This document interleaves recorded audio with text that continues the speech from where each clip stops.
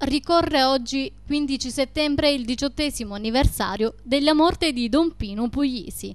Me l'aspettavo. Furono le ultime parole pronunciate dal parroco di Brancaccio davanti alla pistola impugnata da Giuseppe Grigoli.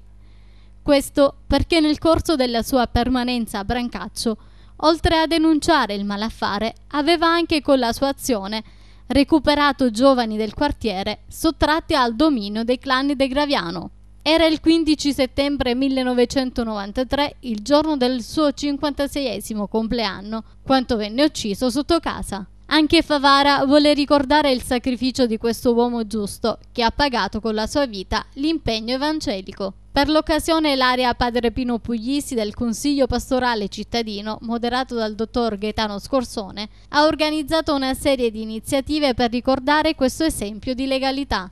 Domenica 18 settembre, dopo la Santa Messa delle 20 in Chiesa Madre, un gruppo di ragazzi e ragazze composto da Giuliana Arnone, Marta Gallo, Calogero Daniela Limblici, Luigi Messana, Sofia Salvaggio e Michele Scorsone ricorderanno l'amore e l'azione educatrice offerta da Don Pino Puglisi. Ricordare Don Pino Puglisi nella ricorrenza del diciottesimo anniversario del suo sacrificio, dichiara Scorsone, significa far nostro il generoso impegno, raccogliendo la sua preziosa eredità con la determinazione, la passione e l'autorevole umiltà che hanno costantemente segnato il suo virtuoso cammino di vita.